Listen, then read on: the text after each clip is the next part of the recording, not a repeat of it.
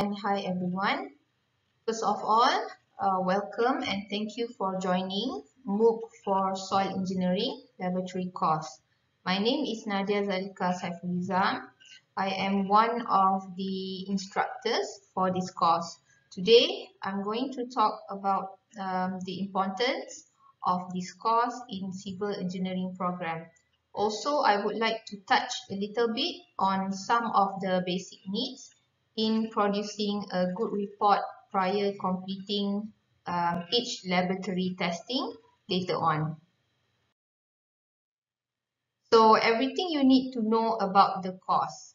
So this course um, is a fully practical course um, that students need to enroll after passing the soil mechanics course taken in the previous semester. So yes, this um, this MOOC for ECG 263 is a prerequisite. Uh, it requires a prerequisite, which is um, you need to pass ECG 243 first. And then um, the core status. So ECG 263 is a core subject and somehow it will contribute um, about one credit hour for the semester. Okay, so coming to the next slide. Um, this course will somehow allow students to experience and carry out standard soil laboratory tests that comprises of four main topics. So we will have a look at one by one. Um, the first topic um, is physical properties and classification of soil. The second topic um, will be compressibility of soil and then followed by the third one coefficient of permeability of soil and the last topic is shear strength of soil. So each topic will focus on a different types of experiment or test according to its purpose. Okay, so I'm going to um, briefly explain um, what are the experiment or lab tests under each topics. So under the uh, first topic, so the experiment um, will be, sorry, so the experiment will be um, moisture content and particle density. And then we will have Atterberg limit test that includes a determination of plastic limit and also liquid limit of soil. So for the determination of liquid limit of soil, we are going to uh, do two type of testing, which is um, Casagrande test and also the cone penetration test. And then we have the classification of soil itself, which is uh, particle size distribution dry sieving for coarse grain soil and then we will have hydrometer test um, for the fine grain soil. Okay, so it is essential. Uh, why why we need to do this uh, all of this testing um, under the, the first topic.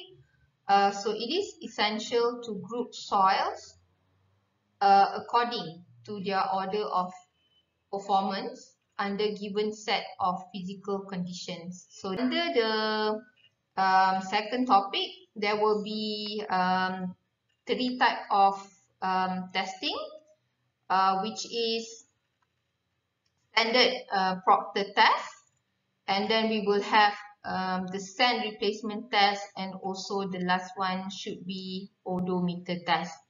Okay, so the prime objective of these testings under the topic of compressibility uh, of soil is basically um, we want to determine the crucial parameters that is required in the design considerations in terms of compressibility and also the consolidation of soil.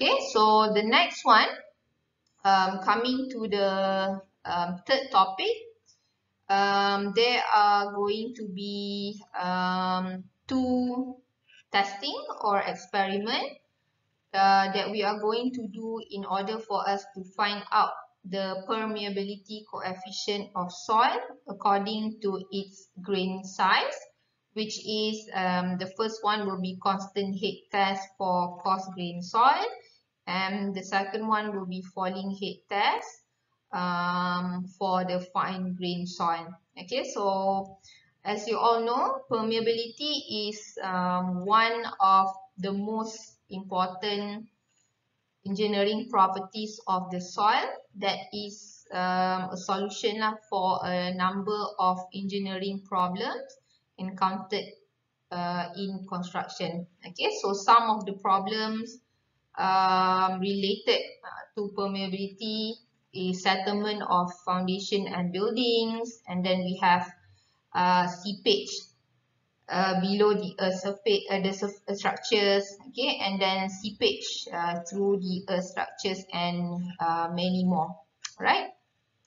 So the last um, test is under the final topic, which is the shear strength of soil. Um, so there are three to four type of testing or experiments depending on the conditions of the soil. So um, shear strength of soil, uh, as everyone know, uh, is its maximum resistance to shearing stresses. So students, by doing the uh, all of this testing, which is the shear box test, unconsolidated undrained triaxial test, consolidated uh, undrained and consolidated triaxial test, um, students can find out the cohesion and also the angle of internal friction of soil which are useful in many engineering design um, such as um, foundations, retaining wall and etc. so the next one, um, I would just like to touch a bit on some tips on how to prepare a good report. Since this is a full practic uh, practical course, it is important that um, students understand um, that lab report is a vital part um, of the scientific process that we are doing in the lab. So these are the contents um, that shall be included in the uh, lab testing report. Okay, so there will be um, front page, introduction, basic concepts, procedures and methods, result and data analysis, and also discussion and conclusion. Okay, so for the front page, uh, front page shall include your basic information okay, such as students' names and your ID number. Um, and then the group, uh, the class or the group that you are attended to. And then uh, name of the test and date of the testing that you conducted. Okay, and then of course the name of lecturer and date of submission. And then coming um, to the second one um, will be the introduction. Okay, so introduction uh, is an introductory paragraph written in the beginning of each report as a glimpse of the experiment that the students is going to report about. Okay, so and then next one will be the uh, basic concept uh, basic concepts includes a brief theory about the test in addition um, to clear statement of the exact meaning of the conducted um, test. Okay, so students um, may include any theoretical or formula to explain about the test. Okay, and then next one um, is procedures or um, methods, methodology. So it is best to write the procedures or your method in a point form and also describe the actual procedures uh, conducted in the lab. Okay, so meaning that nothing more or nothing less. So whatever that you will uh, do in the lab for that particular experiment, you put it in the methodology or procedures.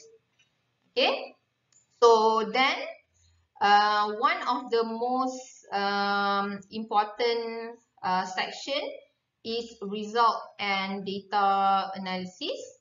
Okay, so result of the testing um, usually should be computed, okay, calculated, summarized, and also need to be compact in um, tabular or graphical format. So in your result or data analysis, if there is any equations, equations or formulas involved, it should be indicated uh, in this section.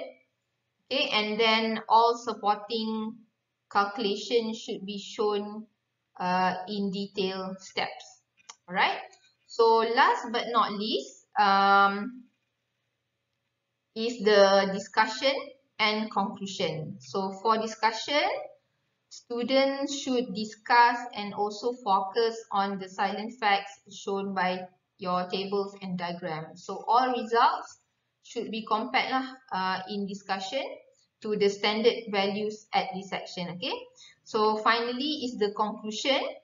Um, so in conclusion, um, in this conclusion um, area or section, uh, students should put a summary of the report and answer whether they have achieved the objective of the experiment or not.